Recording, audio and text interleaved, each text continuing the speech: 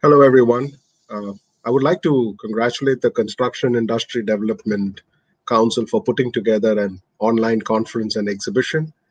Uh, that's uh, what's even more important is the importance that has been given to the services sector, especially for the HVAC&R industry. RATA, which is the Refrigeration and Air Conditioning Trade Association, is a 72-year-old organization that reaches out to almost close to 6,000 MSMEs in the field of HVAC&R. And uh, we reach out by with almost 13 regional committees across the India, across India. And who are these MSMEs? So these micro, small, and medium enterprises are primarily either they are vendors, suppliers, or small manufacturers to large uh, OEMs and brand owners, or are they are uh, they are partners to most of these OEMs in terms of uh, supplies, execution, maintenance work, uh, which is actually the last mile connect to the customers, and that's about 95% of the MSMEs who are in this trade. Now, the COVID uh, times has been absolutely difficult for uh, all the MSMEs in that trade. But uh, yeah, but uh, we, we want to believe it that every cloud has a silver lining. And the opportunity here we sense is with the Atmanirbhar Bharat. Now, if you know, the in the industry, uh, almost close to about 70% of the components are imported close to about 30% of the finished products are just manufactured here, but most of it is imported and primarily from one country. And uh, we sense a huge opportunity, especially when the government is looking at uh, uh, supporting the initiative to manufacture locally here in India. And uh, how are we going about doing it? We are primarily reaching out to all the MSMEs, including the government. And uh, we're trying to put in a paper together so that there is a path driven for all these MSMEs to get into the component manufacturing uh, where they can ancillary units for large suppliers. And why not? Because the air conditioning industry, if you go by the Cooling India Action Plan, is uh, slated to grow almost eight times in the next two decades. So that's a huge opportunity within the country itself. And um, that is something we should take advantage of. But for this to happen, uh, there's a huge mindset change that needs to happen. And uh, what is this mindset change that needs to happen?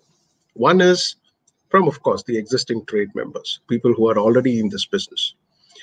Uh, they need to actually look at it differently. That uh, yeah, manufacturing is an opportunity. We need to step in. The second most important thing is a consumer mindset.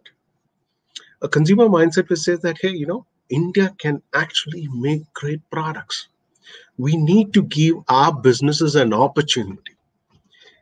They need to they need to they need to be motivated that listen indian products are good there's a there's a customer uh, belief around it and they're ready to give them at least a chance that's extremely important so these are two big mindsets that need to change and when something like this happens you will have a lot of indian entrepreneurs who would actually take benefit of this huge opportunity and uh, venture into Atmanirbhar Bharat, or what you call as self-reliance, or in our industry, is primarily more related to component manufacturing.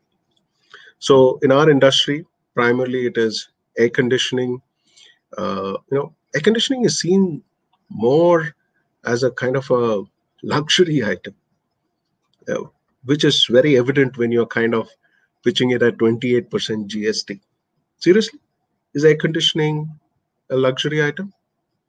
How many of us are comfortable putting up a project together without air conditioning? Will that project sell? or let's go a little more personal in your own houses or your own offices how long do you sit without an air conditioner we're a tropical country air conditioning is not about luxury it's all about productivity the unfortunate part is only about 6% of us can actually afford it so there is a huge opportunity out there as to how do we make it easily accessible to everybody So that's where the growth opportunity is. The second thing is refrigeration. In any country which is developing, refrigeration plays a huge role. It's part of the cold chain infrastructure. Here you have farmers who are uh, struggling to make a survival, and uh, most of their produce goes into waste. How I mean, the refrigeration industry can play a huge role in this. The cold chain network, which is very much at an early nascent stage, uh, can help solve this problem. Uh, a widely well established cold chain network can change the game completely for these farmers. And that's an opportunity that is waiting to be explored. And now with COVID, ventilation has become a pretty much the buzzword. Everybody's talking about air quality. I mean, the industry has always been pushing for indoor air quality, but somehow the cost factor takes over saying that hey as long as it's cool it's fine the air quality is not felt so it's okay i can take a compromise uh, that's history that's not going to happen now so ventilation is a big opportunity so you have the air conditioning you have the refrigeration you have the ventilation all slated to grow and there is a government uh, paper which is the india cooling action plan which clearly defines that uh, this industry is slated for close to eight times growth in the next two decades. Now, this is an opportunity for Indian entrepreneurship. This is an opportunity for Indian small businesses to scale up and become self reliant. And why not? Why just be self reliant? Probably being a tropical country and with such a large opportunity at stake within our own country, we may become the world exporters. We could actually build these products and we could export it. So, as I was saying, two mindset changes. That is what we're trying to push for at the association.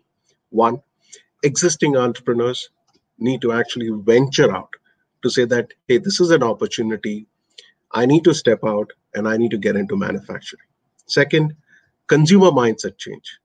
Large companies which are putting up projects need to actually now define saying that, hey, listen, Indian companies can actually make great products. They need to be given an opportunity.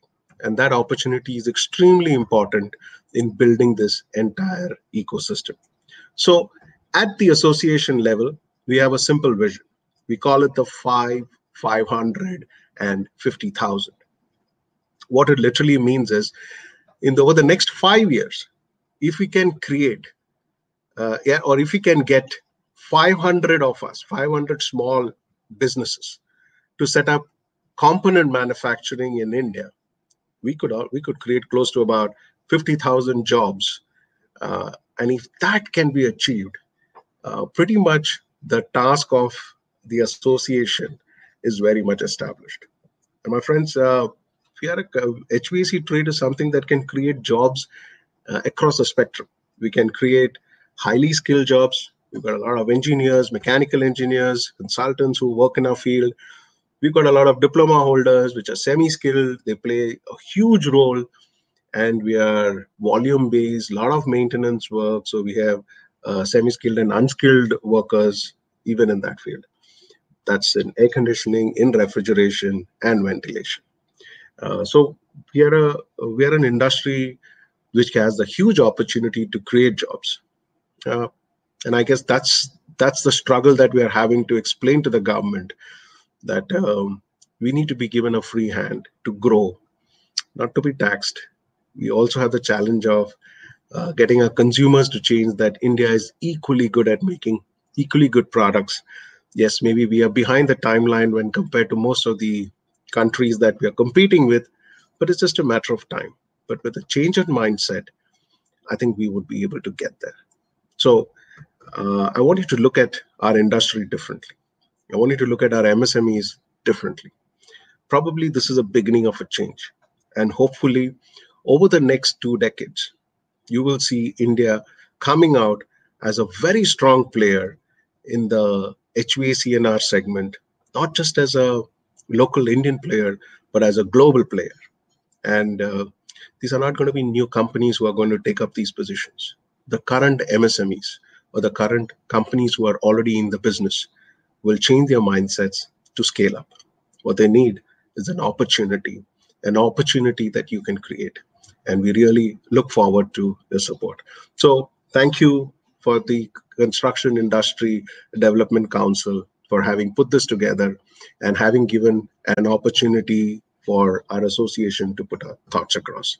Thank you very much. Thanks a lot.